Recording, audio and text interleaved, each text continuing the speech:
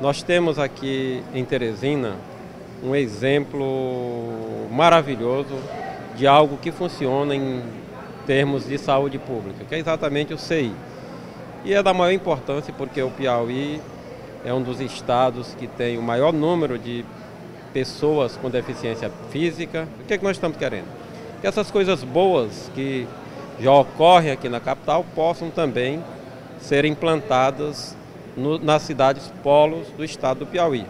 Naturalmente, Parnaíba, como é a maior cidade do estado depois de Teresina, é, carece desse tipo de assistência. Então, nós iremos fazer todo o empenho nesse sentido, junto ao governador. E nós também iremos né, destinar uma parcela importante das nossas emendas parlamentares para que a gente possa viabilizar esse serviço com o máximo de brevidade possível em Parnaíba.